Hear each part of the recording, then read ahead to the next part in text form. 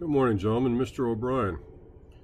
Let's talk about uh, the upcoming examination on uh, Chapter 2, Breaking Up is Hard to Do, the origins of the Cold War between 1944 and 1947. We have the Soviet Union flag on the left with the hammer representing industry and the sickle representing agriculture. And Old Glory on the right. Okay, we watched that video. Now remember, we had this thing during World War II called the Grand Alliance. The United States, Great Britain, and the Soviet Union. And even though we're not big fans of communism, we thought that being allied with the communists would be much better and less evil than having to fight the fascist Italians and Germans and the imperialist Japanese by ourselves.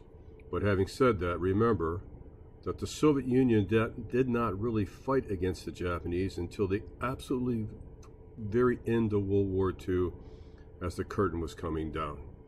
Now, the Soviet Union was not happy because for two years, between 1941 and 1944, almost three years, the Russians had to fight the Germans by themselves. We couldn't open up the second front to take pressure off the Russians until June of 1944, D-Day. And what a terrible price the Allies paid to try to get a foothold into Europe, but we got it done. Now, Stalin is a pragmatist. He may be a lot of things, but he realizes something is for sure. Property is security. And because the Soviet Union had been invaded twice in one century by Germany, he wanted to put himself in a position where that could never happen again. And the key to that will be the territories called Poland, and even those territories we call East Germany. So Stalin is not going to leave World War II without having a buffer zone because he knows that Germany will rise like the phoenix from the ashes yet again. And financially speaking, they did. All right. We have had a president since Abraham Lincoln in 1864 run for reelection during a war. And this is President Roosevelt. You know, he suffered from polio in his 30s, was combined, was confined, pardon me, to a wheelchair. And the uh, he had a bad habit, a very bad tobacco habit, nicotine. I always saw pictures of him with that cigarette holder and the cigarette, but his diet, the stress of the war, the depression, high blood pressure had led to heart disease and also had led to uh, uh, shall we say, complications with his uh, vascular system. He was 62 years old. I know he looks a lot older there, running for his fourth term, and quite frankly, he was not a healthy man. When Roosevelt was cleared by the Navy doctors at Bethesda, I still don't get it. I mean, they put him on a diet, they restricted his cigarettes, they gave him bigger blood pressure pills, but the idea that he could run again for a fourth term, I don't know. I think they were throwing the dice. And as it turned out, we were right. Roosevelt did not survive his fourth term or see the end of the war. All right. You know, we talked about the two conferences, Yalta and Potsdam, and the idea was basically, right, what would happen to Poland after the war would the Soviet Union keep Poland, a country created after the Versailles Treaty?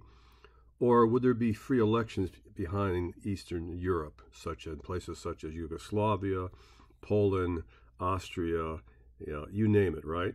So there was a big, very bitter debate what was going to happen to Europe and the rest of the world after the war. And this is basically what these conferences were about Yalta, Russia, and Potsdam, Germany.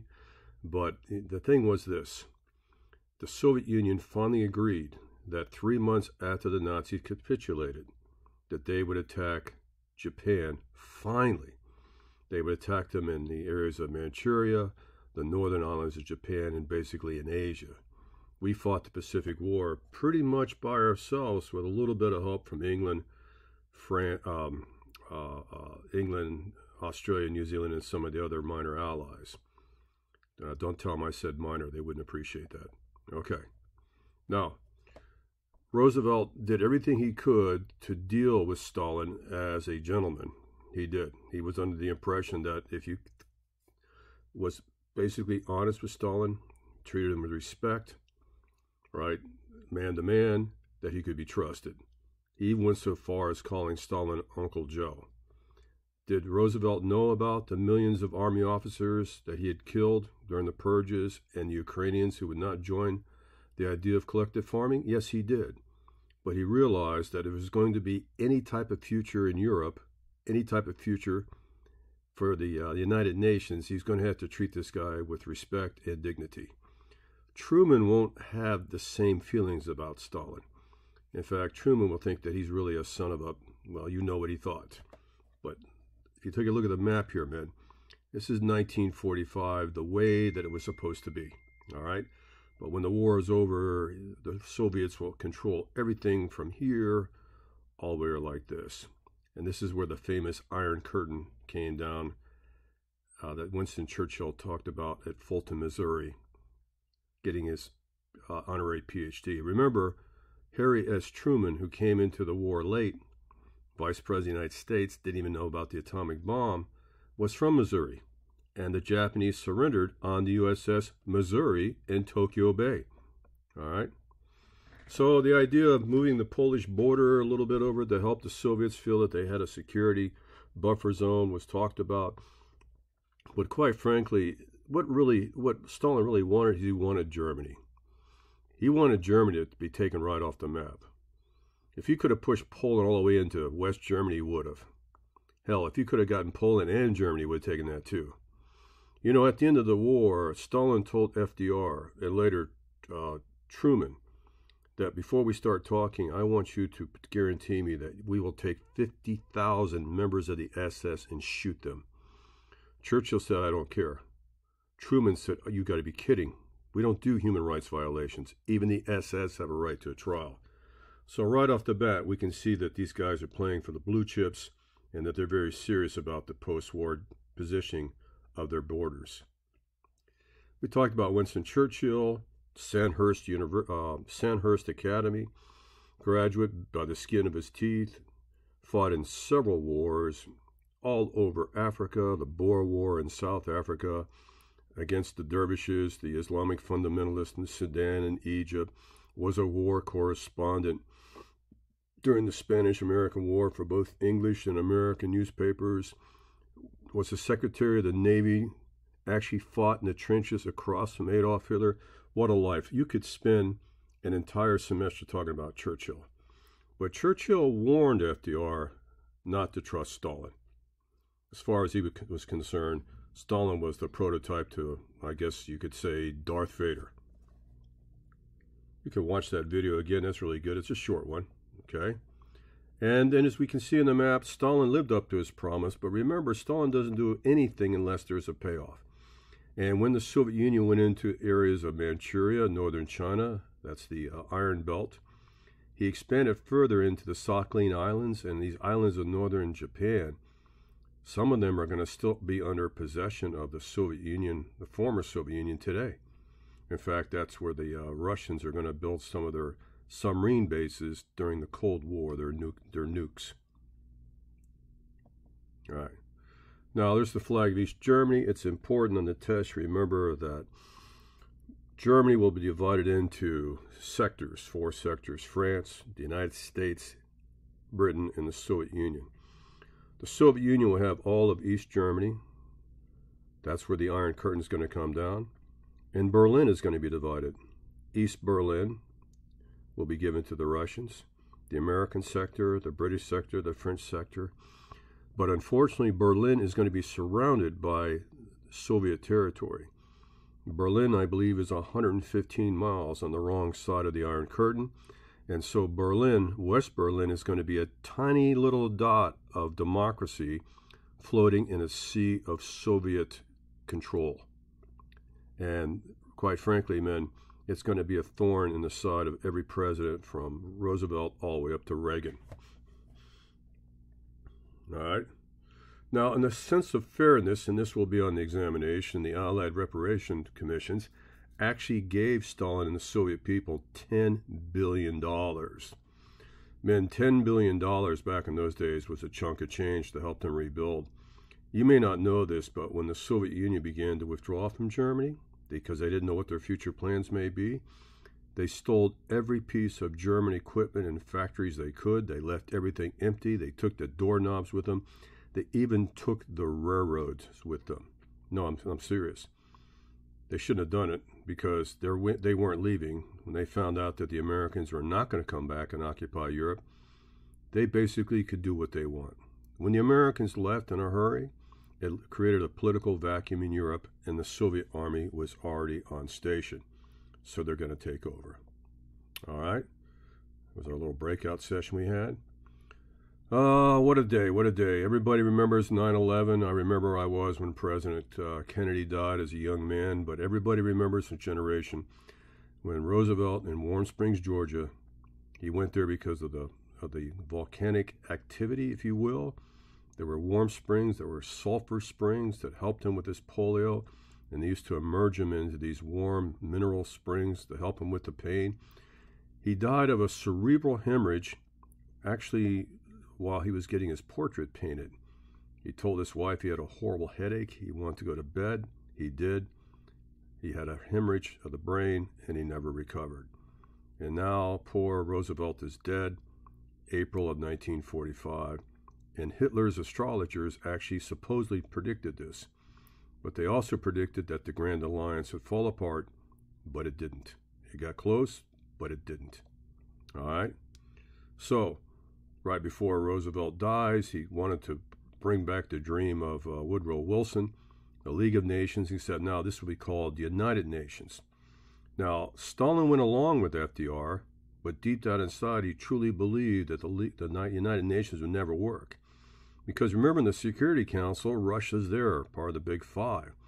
And he, the Russians can veto anything they want because they're part of the Security Council, which basically means that, you know, Russia's going to be able to uh, block anything good we do because they have a super vote. All right. Uh, talked about Poland. We talked about Yalta, right? That's the Russian Miami Beach where all the Soviet high command used to live, right? And Stalin, as soon as he's dead, the optimism disappears and he begins his program of occupying Eastern Europe. Okay? Harry S. Truman from Missouri comes in, knew nothing about the atomic bomb, knew nothing about what was going on. In fact, he met the president about three times, and each conversation wasn't even 20 minutes long. He was completely in the dark. Later, they asked Truman about becoming president at the peak of the, the end of the conclusion of World War II. He said, I felt like the moon and the stars and the planets had fallen on top of me. And now, here it is, the uh, basically the World Series in our starting pitcher is gone and we're bringing in a relief pitcher. But he did a pretty good job. Now, guys, remember, Operation Manhattan was to secretly produce the bomb. Congress didn't know. I got to remember now, it was either 2 billion or 12 billion. I have to look that up, man. That's the problem getting older. Sometimes you forget this stuff. It was a massive secret program. And there's the gadget, the actual device that was in Los Alamos, New Mexico, that fateful day in July of 1945 little village called Alamogordo, which was nothing but desert. And on the right is Dr. Oppenheimer, Robert Oppenheimer, Oppie, the 40 year old physicist who was brilliant. Now, even though uh, uh, uh, Einstein told and warned uh, Roosevelt about the Germans' progress in making the atomic bomb, he actually didn't work on it. But he was the one who suggested to Roosevelt that they do it because the Germans might be able to pull this off. And you know, if Hitler had it, he would have used it. Now, gentlemen, when they found out that Germany's atomic program went nowhere, several scientists in Chicago and also several scientists in Los Alamos began to question the morality of using this weapon. But, you know, the United States just kind of disregarded, disregarded that protest, went ahead with the program, and they produced a weapon that was actually when it was dropped over, not on, but over Hiroshima at about, I think, 1,300 feet, I forgot, actually produced a fireball hotter than the surface of the sun. Even though the uranium bomb was not totally efficient, it was more powerful than they, they thought. It was more powerful in New Mexico. This thing is a monster. And there's Commander Tibbets in the Enola Gay, named after his mother. I got to talk to Commander Tibbets back in the day. And to these gentlemen, for the most part, they did their job and they didn't seem to have a lot of regret. But as years went by and the stories came out about the 80,000 Japanese who died from radiation sickness and from the energy of the bomb, began to, shall we say, become more like doves and not hawks because was a horrible responsibility to have to live with. But they were soldiers and they did their job. Okay? This is an American soldier months after. It's funny because if you go to Hiroshima, that's the Peace Tower. Uh, that's the place where they it's still there. It's the living memorial to the Hiroshima. Minna was almost a three quarters of a mile to a mile of absolute utter destruction. We talked about the idea that after the atomic bomb went off, there was a lot of uh, rain that showed up. The bomb had actually created that 60,000 foot mushroom cloud, had actually created a weather pattern. And that weather pattern dropped black rain, which was soot, ash, highly radioactive subparticles mixed in with the dirt. And the Japanese were parched you know, the target was the Hiroshima Bridge, and they missed it by about 50 yards. And when it detonated, the Hiroshima River evaporated by eight feet. If you really want to read a good book about this, written a long time ago, look up a book called Hiroshima by John Hersey. Wow, it's a fantastic read, and it's a sad read, but it's it's history. All right. This is Dr. Robert Oppenheimer, Oppie when they did the test at Los Alamos, Oppie quoted the Hindu Bible, the Bhagavad Gita, the Song of God, where he said, Now, I think he was quoting Shiva, now I've become death, the destroyer of worlds.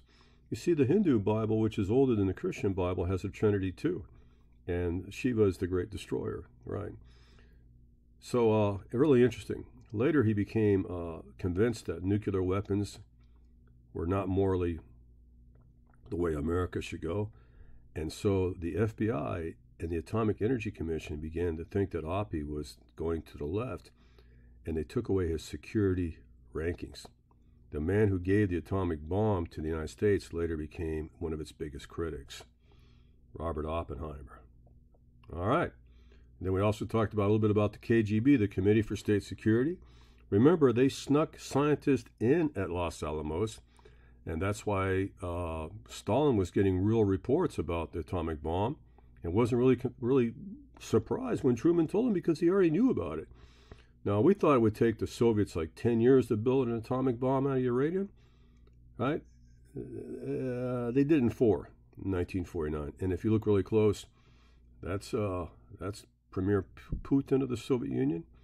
And not only is he a black belt, I think, in jujitsu karate and a great chess man, he's, a, he, he's really good at riding horses, but man, he's KGB. That's serious. So, all right, man, remember the test is uh, next week. It's going to be uh, 20 questions and uh, true and false, multiple choice. And if you study this and look at it and look at your notes, you should be really good. So enjoy the day. This is Obi signing off and saying thank you. And, uh, you know, we'll see you.